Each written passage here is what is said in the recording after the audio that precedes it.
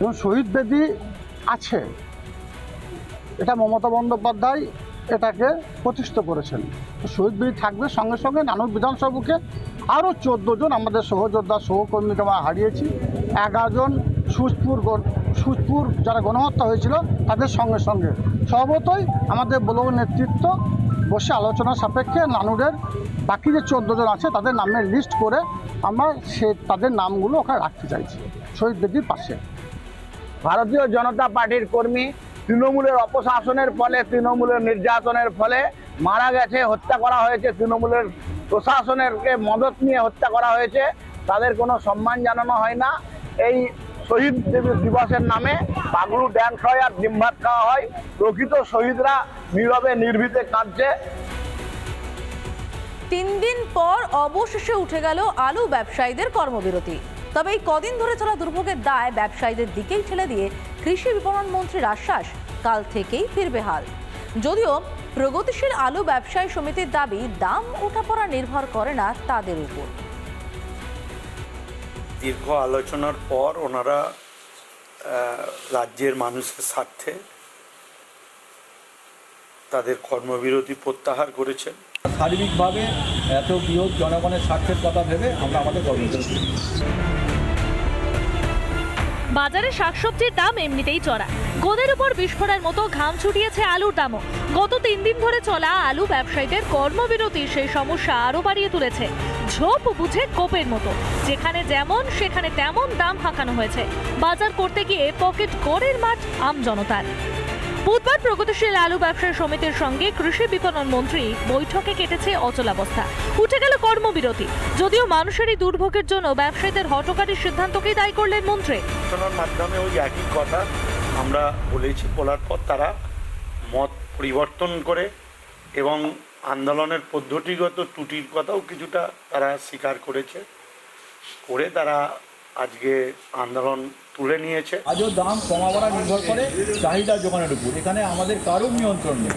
সরকার নিশ্চয়ই আলু কিনে হোক যেভাবেই হোক, দাম নিয়ন্ত্রণ করতে পারে, সেটা সরকারের হাতে রয়েছে। সরকার নিশ্চয়ই তার ব্যবস্থা গ্রহণ করবে। উঠেছে কর্মবিরতি। মন্ত্রীর আশ্বাস এবার হবে মুশকিল আসান। আমার স্থির বিশ্বাস যে আলুর যোগান কালকেই স্বাভাবিক হবে দামও স্বাভাবিক। সত্যি কি বৃহস্পতিবার থেকে মঙ্গল হবে জনতার? একটু হলেও মিলবে স্বস্তি নাকি এবারও কথায় আর বাস্তবে ফারাক থাকবে আকাশ পাতালে? হুগলি থেকে সুজিত গৌড়ের রিপোর্ট রিপাবলিক বাংলা। সংসদে দাঁড়িয়ে এবার মূল্যবৃদ্ধির জন্য সরাসরি কেন্দ্রের ঘাড়েই দায় চাপালেন অভিষেক বন্দ্যোপাধ্যায়। মুখ্যমন্ত্রী সুরে সুর মিলিয়ে বললেন সব দায় নাকি কেন্দ্রেরই। তাহলে পুলিশকে যে হাত পেতে ঘুষ নিতে দেখা গিয়েছিল কি বলবেন তা নিয়ে? এই প্রেক্ষাপটে রাজ্যকে তুলোধনা করেছে BJP Sir, price rise. A home cooked veg thali cost 8% more year on year in April 2024.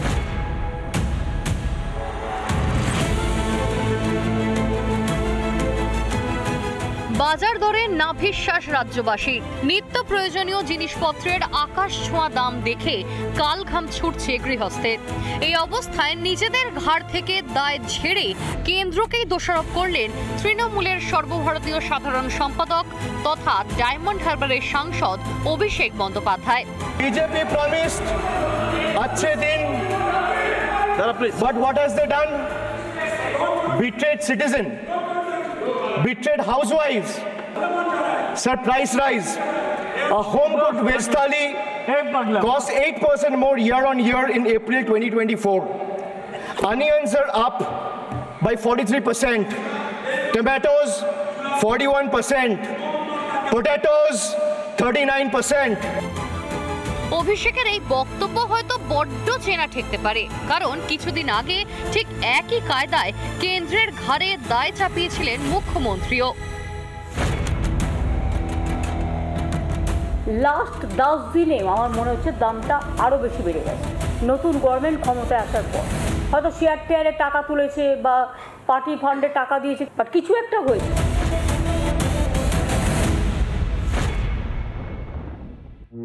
যে ওনারই পিসি রাস্তায় নেমেছিল, কি নিয়ে? সবজির দাম, আলু, পটলের দাম, পেঁয়াজের দাম বাড়ছে কেন? রাজ্য সরকার জবাব দাও। তো উনি কখন কেন্দ্র দেখাবেন, কখন রাজ্য দেখাবেন, এটা নির্ভর করবে ওনার কি অবস্থান আছে। মমতা অভিষেক ব্যস্ত, দায় ছাড়তে। এদিকে বাজারে আনাজের দাম দেখে চোখে জল আম জনতার। আলু বিকোচ্ছে চল্লিশ টাকা প্রতি কেজি দরে। বেগুন ষাট টাকা কেজি, টমেটো আশি টাকা কেজি, কাঁচা লঙ্কা দেড়শো টাকা কেজি, উচ্ছে ষাট টাকা কেজি, ঝিঙে পঞ্চাশ টাকা কেজি।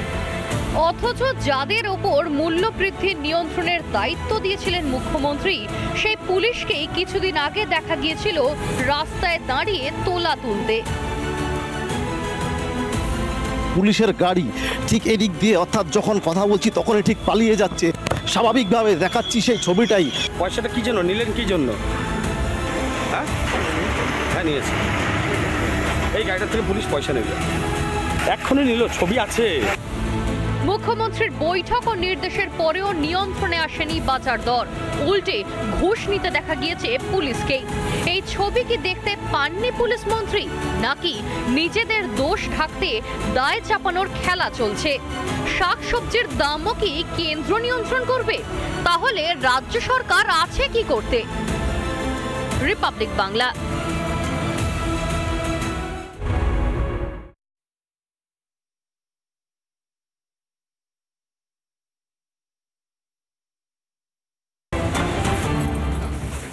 এই মুহূর্তে যে খবরে নজর রাখব, পশ্চিম মেদিনীপুরের দাসপুরে তুমুল উত্তেজনা। সভা চলাকালীন তৃণমূল বিজেপির সংঘর্ষ। বতসা থেকে শুরু হয় হাতাহাতি।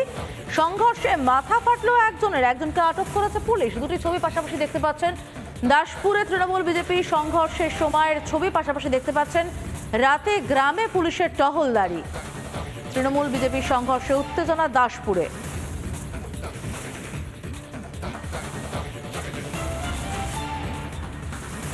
সংসদ হচ্ছিল, ওখানে রাজনগর গ্রামের কথা বলছি না। আমি এমনি ঘুরতে ঘুরতে বেড়াতে গেছি। আমি কোনো পার্টি ফাটি করি না, ঠিক আছে? ওদেরকে মারতে এসে আমি দাঁড়িয়েছিলাম, আমাদের মন্দির আছে, মন্দিরের পাশে দাঁড়িয়েছিলাম, আমাকে ভেঙে পড়েছে। ওই তৃণমূল বিজেপির মধ্যে আর কি। তাকে ছুটে মারতে এসছে। আমি সাইডে দাঁড়িয়েছিলাম তাকে মারতে এসে আমাকে মূলত যেটা গন্ডগোল, যেটাকে বলছে রাজনৈতিকভাবে, কোনো রাজনৈতিক গন্ডগোল নয়। আমার কাছে যতদূর আমি ওই দলের, আমার ভাই হবে সম্পর্কে রামপ্রসাদ তার সঙ্গে কথা বলেছি। সেও কি বাইট দিয়েছে নাকি শুনেছি যে তিনি বলেছেন নাকি রাজনৈতিক গণ্ডগোল ততটা নয়। এটা একটা ব্যক্তিগত আক্রোশের মতো হয়ে দুটি মাতালে মাতালে গণ্ডগোলটা আকার ধারণ করে। তো যে ছেলেটি মেরেছে, ও মদ খেয়ে ঢালাই একা দিয়ে গেছিল মদ খেয়ে এসেছিল তো ও মদের খেয়ালে চিরকালই হয়ে আসছে। আজকে আমার জ্ঞান অবধি, কোনো শান্তি এখানে বলতে নেই। এখানে সমস্ত একটা রাজনীতি যখন হয়ে হয়ে যায় শান্তি প্রায় যে এইটা যে করবে, কি পরিকল্পনা, কি ছক আছে, আমরা জানি ওখানে গেলাম, কাজের লেগে বলেছে তারপরে এরকম হট চটে সে এমন মারলো, তার মাথায় এতটা গঁয় ঢুকে আছে রক্ত রাখতে হয়ে গেছে, কোনো অজ্ঞানের মতন হয়ে গেছে, তাকে হসপিটাল নিয়ে যাবে।